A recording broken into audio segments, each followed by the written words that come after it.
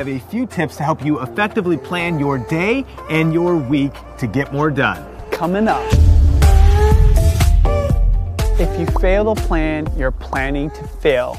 Benjamin Franklin dropping some major key way back in the day, and absolutely true because you know what? Planning is gonna make you so much more productive and successful. And for video influencers, there's so much to do videos to make, branding to do, photos to take, deals to set up, mm-hmm. all in the midst of a lot of times juggling a lot of other things. And so effective planning is essential for success. In fact, I love this quote from Brian Tracy, and it says this Every minute you spend in planning saves 10 minutes in execution. This gives you a 1000% return on energy. And so you can be confident that time spent planning is time well spent. And so every day I like to plan out a few things. I like to plan out the projects that I'm working on and the tasks that I need to accomplish.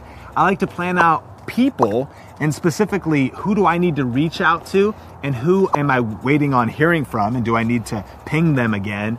And then I like to plan out my priorities and what are the things that absolutely must get done today. And in fact, I actually use a uh, resource called the one page productivity planner. It's by Brendon Burchard. I'll link it up totally free in the description below. I print that out every day and it helps me stay organized and get a lot more done. My tip is for you not to overplan. What I mean by that is prioritize what's most important and pick those things that get done that day. What I do is I have a weekly planner that has everything I need to do. But every single day I put my must do's on a small little note card and I get those things done first. I think a problem that people have is they overwhelm themselves with this huge long list and end up not doing anything. That's so smart. if you so if you prioritize the things that are most important and reduce it to like three or four things, you're more likely to get those things done. Question of the day, what are your tools and or tips for planning? Let us know in the comment section below. And remember that some of the best tips and conversation comes from you, the video influencers community. So definitely connect